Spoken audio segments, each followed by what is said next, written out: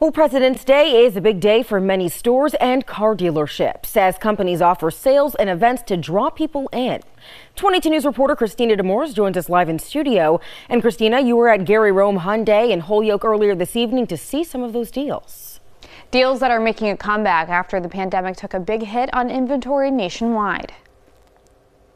Traditionally, it is the very best time to buy a car, and it's the beginning of our selling season. The selling season has kicked off this President's Day for consumers nationwide. The holiday having people flock to stores to purchase those marked down big ticket items like appliances, mattresses, and especially vehicles. With the Tucson, you get 0% financing. We have our electric vehicle, the Ioniq 6 and the Ioniq 5, and we have a few leftover 2023 Ioniq 6s that you can save over $20,000. Here at Gary Rome Hyundai in Holyoke, they have been busy all holiday weekend with people taking advantage of those deals, which will last all month long. Monday alone drawing in about 100 people, and the dealership selling about 60 cars. According to experts, car inventory has increased since the height of the COVID 19 pandemic, which means potentially better deals this President's Day. The manufacturers, Hyundai and Kia, have come out with some great rebates and 0% financing to incentivize people to come in now and buy a car. And some advice from car experts to secure a good deal strengthen your credit score to get a better rate.